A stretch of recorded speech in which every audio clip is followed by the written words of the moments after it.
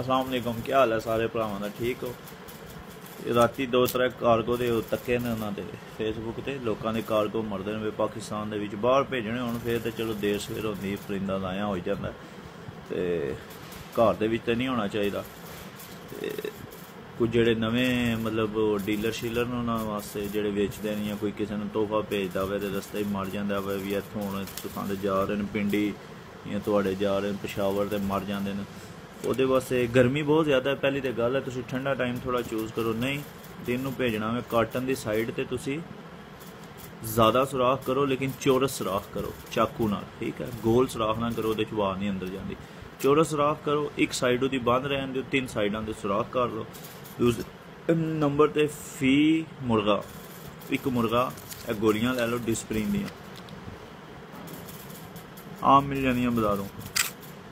ਕਿਸੇ ਸਟੋਰ ਤੋਂ ਦੋ ਗੋਲੀਆਂ। ਰਵਾਨਾ ਕਰਨ ਤੋਂ ਪਹਿਲੇ ਦੋ ਗੋਲੀਆਂ। 25 ਤੋਂ 30 ਸੀਸੀ ਪਾਣੀ ਵਿੱਚ ਘੋਲ ਲੈਣੀਆਂ, ਠੀਕ ਹੈ? ਘੋਲ ਕੇ ਉਹ ਪਾਣੀ ਮੁਰਗੇ ਨੂੰ ਪਿਲਾ ਦੇਣਾ। ਇਹਦੇ ਨਾਲ ਮੁਰਗੇ ਦਾ ਬੀਪੀ ਲੋ ਨਹੀਂ ਹੋਣਗਾ, ਹਾਈ ਨਹੀਂ ਹੋਣਗਾ। ਮੂੰਹ ਕਾਲਾ ਨਹੀਂ ਕਰਨ ਲਗਾ ਤੇ ਮਰਨ ਨਹੀਂ ਲਗਾ। ਗਰਮੀ ਮਤਲਬ ਜ਼ਿਆਦਾ ਤੋਂ ਜ਼ਿਆਦਾ ਉਹ ਬਰਦਾਸ਼ਤ ਕਰ ਲੇਗਾ ਠੀਕ ਹੈ? ਤੇ ਜਿਹੜੇ ਏਸੀ ਗੱਡੀ ਵਿੱਚ ਭੇਜੋ ਤੇ ਬਿਹਤਰ ਹੈ, ਜਿਹੜੇ ਗਰਮੀ ਦੇ ਵਿੱਚ ਭੇਜਦੇ ਹੋ ਨਾ ਇਹਨਾਂ ਵਿੱਚ, ਥੱਲੇ ਰਖਵਾ ਕੇ ਆਈਐਸਾਂ ਦੇ।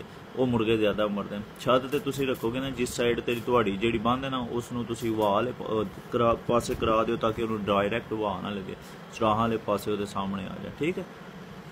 ਤਾਂ ਕਿ ਉਹਨੂੰ ਥੋੜੀ ਥੋੜੀ ਵਾਹ ਲੱਗਦੀ ਰਹੇ ਜਿਸ ਤਰ੍ਹਾਂ ਤੁਹਾਡੇ ਮੁਰਗੇ ਦਾ ਛੱਤ ਤੇ ਭੇਜੋ। ਗਰਮੀ ਵਿੱਚ ਸਿਰਫ ਅਪਰੂ ਕਵਰ ਹੋਣਾ ਚਾਹੀਦਾ। ਮੁਰਗਾ ਉਹਨੂੰ ਧੁੱਪ ਨਾਲ ਡਾਇਰੈਕਟ ਲੱਗੇ, ਬਾਕੀ ਜ਼ਾਇਆ ਨਹੀਂ ਹੁੰਦੇ। ਅਸੀਂ ਹਮੇਸ਼ਾ ਤੋਂ ਭੇਜ ਰਹੇ ਹਾਂ ਤੇ ਕੋਈ ਨਹੀਂ ਮਰੇ।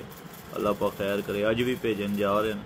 ਤੇ ਅੱਲਾ ਖੈਰ ਕਰਸੀ ਤੋੜ ਲੱਗ ਜਾ ਸਨ ਕੋਈ ਨਹੀਂ ਮਸਲਾ। ਐ ਡਿਸਪਲਿਨ ਦੀਆਂ ਗੋਲੀਆਂ।